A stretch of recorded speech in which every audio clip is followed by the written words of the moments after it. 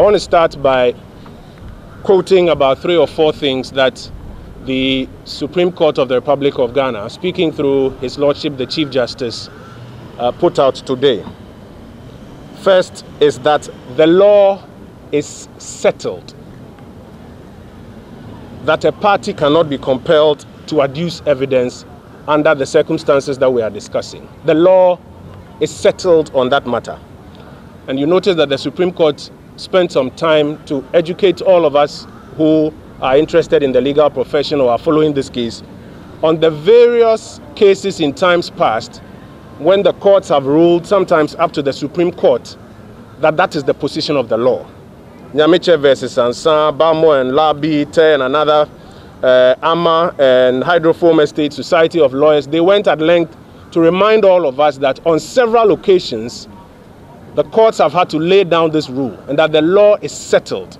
So if anybody comes with some new arguments as though it is a gray area of the law or that it is possible to compel a party to come and adduce evidence in circumstances like this, the law is settled that that cannot happen. The second point that the Supreme Court has made, which I think is very important for us, is that a case is won on the strength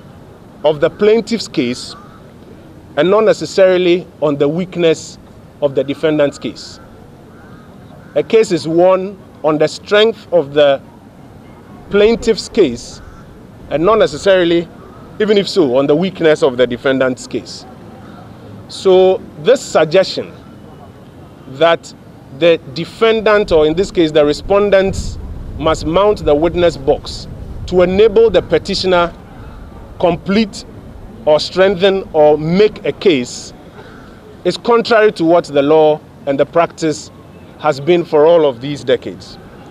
The third point that the Supreme Court has made today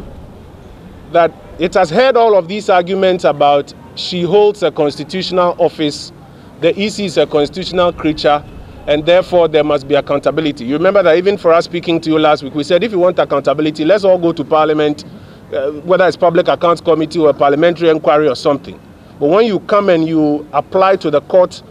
under some specific rules,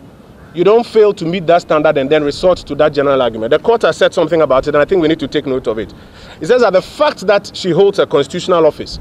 and that there's a constitutional responsibility involved does not mean that a different set of rules must be made up. And I think it's very significant that the fact that she holds a constitutional office or that there are constitutional responsibility questions that are being raised does not mean that a different set of rules should be made up. So today, the question that the court invited us so that it will answer whether or not a party can be compelled to adduce evidence, the court has answered it and has given the many instances in which it has arrived at this similar uh, position.